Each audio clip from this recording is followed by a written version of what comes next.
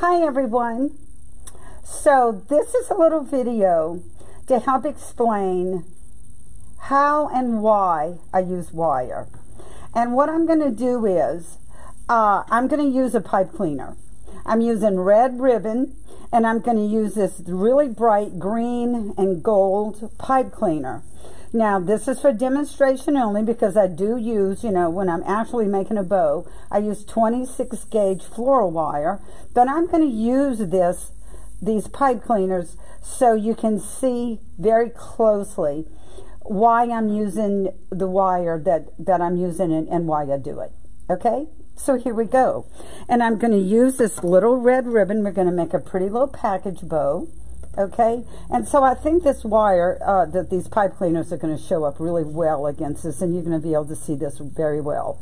So I'm going to make a little package bow. So what do I do? This is how I start. This is one ribbon, and it's, and it's just a little package bow, and it would be the same thing if I was using a two-inch ribbon. The size of ribbon doesn't make any difference at all, okay? So I'm going to take the end of my, let me start, but I always start with a flat end. Okay, so I'm going to pinch. See how I'm pinching? I swing this around in my left hand, and I'm going to come from behind with my little piece of wire, which in this case I'm going to use a pipe cleaner. And I'm going to just put it here, and I'm going to go around one, two, one, two times. That's it, a piece of wire up and a piece of wire down. You see how that looks? So that's how that looks now. A piece of wire up and down, and you just ring it around the end of your little, the end of your ribbon. And that's how you start. You put your wire on first. Okay? Now, I'm going to bring this around. I'm coming across the bottom of my bow maker. I'm coming up around the left side of the dowels. This is the first loop. I'm creating the very first loop of the bow and I'm really trying to get this very close. And you see how I have you see how I have uh, my wire up and down? Okay? That's how you want to have it. And now you're going to take this and you're just going to pinch. See how I'm pinching this piece this around my base dowel? Don't go all the way down to the bottom. It just doesn't work Okay, please take my word for it. It just doesn't work that way. Uh, it's going to make your bow really lumpy jawed. So you want to come in the, see how I'm halfway up the dowel? That's where you want to be. And you're going to take the top piece of uh, wire and you're going to go to the left. Now this is just one of the little things that you remember with using the Pro Bow. And, you, and this is just the way you start. You go to the left and you want to go all the way up to the top you don't, if you ring it around down here as you're making your bow, it's going to, all your wire is going to be covered. You won't be able to get it off quickly at the end. So that is the reason why you go up and then you come around and you try to wrap, wrap the wire on itself. It just holds easier that way. Okay? Wire does not stick to wood. So you want to wrap that wire on itself. It, it just holds easier. So that's your top piece of wire. Please note that I go counterclockwise. Okay, you're going to take your, the other piece of your wire and you're going to go down around the nail just once. You don't have to keep going round and round. It is not necessary. Okay, that's all you need it to do, and you're going to take that and kind of swing it under there and leave yourself a little loop so you can get it off quickly at the end. And this is how it should look. Okay, there you go. Wire up, wire down. Ring it around the top and the other around the nail. That's all there is to it. Okay? Now, we're just going to make a bow. Finger here. There's my pinch and my twist. And I always go right over, right where uh, my first, where my first wrap was okay? You don't travel up and down the base of the, uh, of the finger. If you do that, you'll have a very lopsided, and your, your bow will be lopsided. Your bows won't be, won't be um, evenly spaced. It'll just be a mess. That's just very important, okay? Now, there you go. Here's your finger. There's your pinch and your twist. There you go. Around here.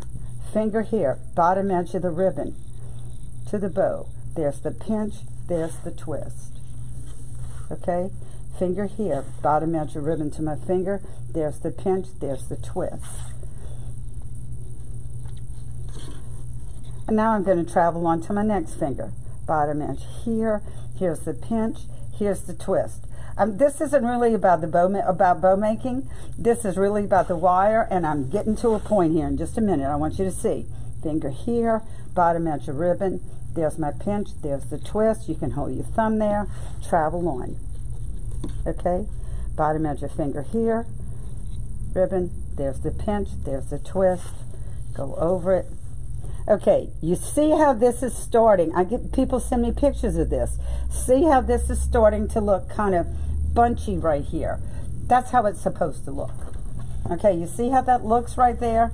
Don't let that bother you. You can take your finger if that bothers you in any way. You can kind of pull that down if you like, whatever. But that is just how it's supposed to look. That is absolutely fine. Okay? So finger here, bottom edge of ribbon, pinch, twist. And let's go over it. Let's do it one more time because I want to, I want, this is the next point about, about wire that I want you to see. Finger here, there's your pinch and the twist, and that's really about what this little video is about. It's about the wire. See how that's, I'm using a lot of ribbon here, and this is a thick little, um, really heavy linen little wire. Finger here, there's the pinch, there's the twist, and go on here. Now, this is the spot that I wanted to tell you. A lot of people, and people send me pictures and ask me what's wrong. What will happen if you're pulling too tight, if you're really pulling tight, and it seems like a, a lot of ladies do that, you're used to doing, making bows in your hand and you're holding on for dear life. And, and so most people, if they're doing anything wrong at all, is they're pulling on their ribbon too tight. You just go around the dowels. Don't, you, there's no re, and you see this just, I, am just around them. I'm, I'm not over pulling, okay? But if you have a tendency to pull too tight, I'm going to show you how you fix this. You see the center loop of the bow? Here is the center loop of the bow. Let's do it with this finger. There is the center of your bow okay?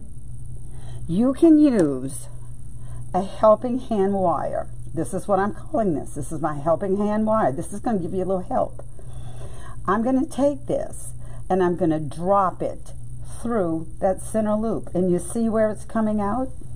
You always want to come out. You're going to drop it through the center and you're going to come out on the right.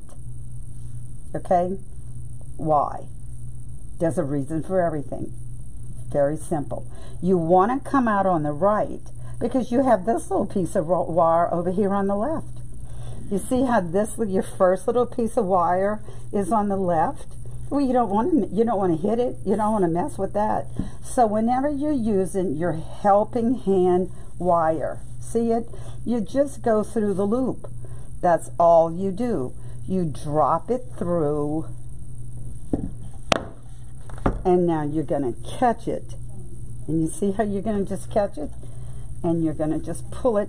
This is the dead center of the bottom of your bow. And so you see how I pull this little piece of wire here? And now, and like I said, I'm using pipe cleaners here, this colored pipe cleaners. This is a demonstration so you can see why I'm doing what I'm doing. Okay?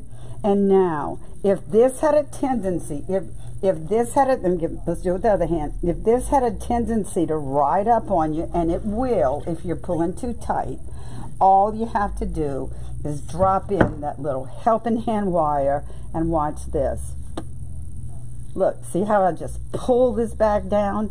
I just pull this back down, and look, you're going to go up, around, and there's your little helping hand wire. That's all it is. Now, what have you done? You're now controlling that um, the base of your bow. Your stack out. You have total control over that because you've just added this extra little piece of wire there if you have a tendency to pull too hard. Okay? And if this wants to move on you, just use that little helping hand wire if you would like to. And that's the two that's the two points. One of them goes to the left and one of them goes to the right. And that's the reasons why. You just don't want them to hit each other. And that's all there is to it. That's all there is about wire. Okay? Whenever you're using one uh, continuous piece of ribbon. So let me go ahead because I, I, I've done videos before where I stopped. I was trying to make a point and I stopped and then I get fussed at and they was said, well, I really wish you had finished that bow and, and fluffed it. So let me go ahead and do that. Okay? And, um, and I will open it and you can just see how fast I can do this. And there's the bottom edge pinch and twist drop it over come and twist bringing that bottom edge up drop it over finger here pinch twist. Incredibly fast incredibly easy. And look I'm putting all kind of loops back here. Pinch and twist and that is enough pinch and twist. The next question I get asked is okay, I've added two wires and I don't know what to do with them. Okay, what you want to do, now I have finished my bow. I'm going to tie off my helping hand wire first. Here it is. I'm going to pull it down. I'm going to pull this up. I'm going to just I'm just going to ring them around a couple of times. That's it. Two or three times. That's the most. If you do, you know, any piece of wire, if you overdo it, you'll break it. Okay, so there's your little helping hand wire. I think you can clearly and easily see that. So that's helping hand wire that I have used first. Now, I'm going to go back and get my first piece of wire. The wire that we attach the ribbon to the bow maker to begin with. Here it is. See my little gold piece? Don't just jerk it up. You want to wiggle it off. If you just pull it, it'll knot it. It'll knot all this wire give it a little bitty jiggle. That's all. And so you went on clockwise, you come off clockwise. If you if you if you take it off this way, and I think you'll be able to see this, you see how I'm, I'm hoping you can see it. You see? So it goes on clockwise, clockwise, and it comes off counterclockwise. If you come off this way, well, what you've done is you've now wired that dowel to, into your bow. Because you see how that piece of wire is going around it? You've wired the dowel into your bow. So you go on clockwise and you take it off counterclockwise.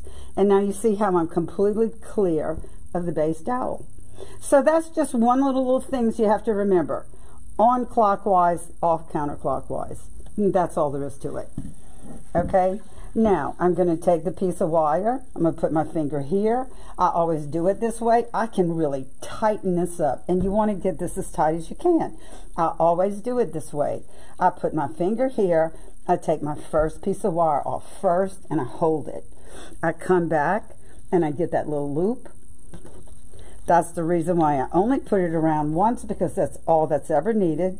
Make sure you come behind your finger I give classes, and I can't tell you how many people sit here and now wire their finger to their bow maker. you don't want to wire your dowel in, and you don't want to wire your finger to it. Just please go behind your finger, okay? And now, look how tight, again, you can just, a lot of people said, oh, they just can't get their bow tight. Well, that, I mean, it's so incredibly easy to be able to get that extremely tight now. And I think you can clearly see that, how tight you can get it.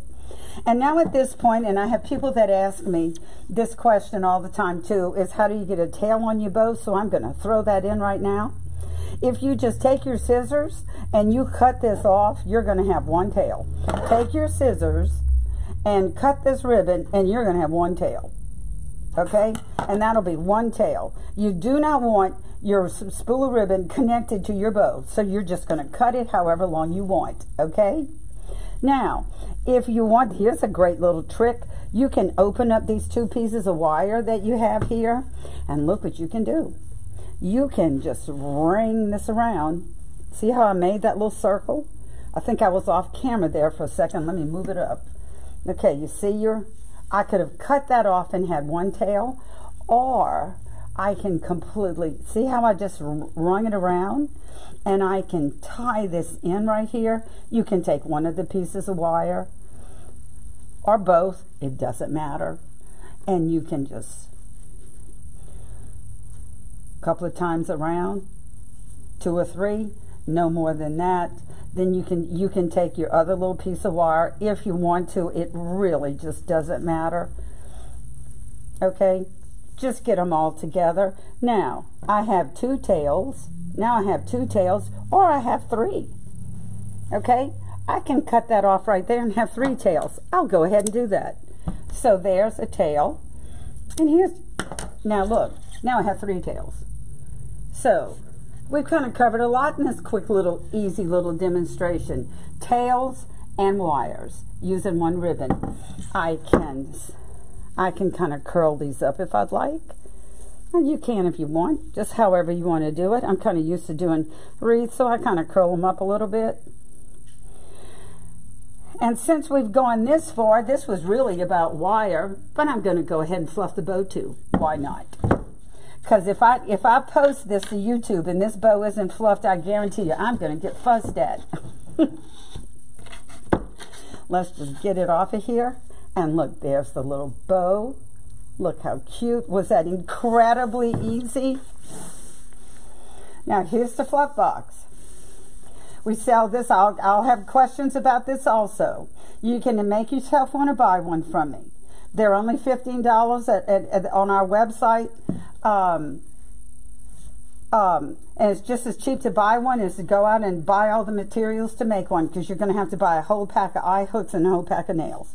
So anyway, either way that you would like it. But you see, you want to have your eye hook facing away from your nail because to use this, what you're going to do is you're going to slide this, your wires, into that eye hook and then go to your nail. And do I have enough to get around the nail? Oh, barely, but I'll make it. This was really supposed to just be about wire. But anyway, I'm, cat I'm kind of adding all these other things. But that's okay. So, our bow is now attached to the fluff box. And now I can use both hands. Or if this was, a, if you wanted to tie this to a package, you could have just tied this to your package with your wire and, and just fluffed your bow. But I'm just going to go ahead, since I'm this far, I'll just soon finish and you can see the whole little bow. Because believe me, if I don't show the whole bow, I get fussed at. I get people, I'll get, I'll get some messages saying, I really wish you would have fluffed that little bow so we could have seen what it looked like. But anyway, there we go. This was really about wire, but what the, what the heck. I just soon go ahead and show a little bit more where I'm at it, don't you think? And see how see how wonderful it is to use the fluff box um, and how easy it is to fluff out a bow whenever you can use two hands and move everything around. And so there we go. Really, really easy little bow, incredibly fast that it was really about, this was really supposed to be just about wire. And I'm terrible about fluffing because I never know when to stop. But I guess I'll stop now. and there you go. There's a perfect little bow, incredibly easy. And but this was really supposed to be about wire, but there you go. There's a little demonstration for you, and I certainly hope you enjoy it. ProBowTheHand.com or Amazon. Thank you so much.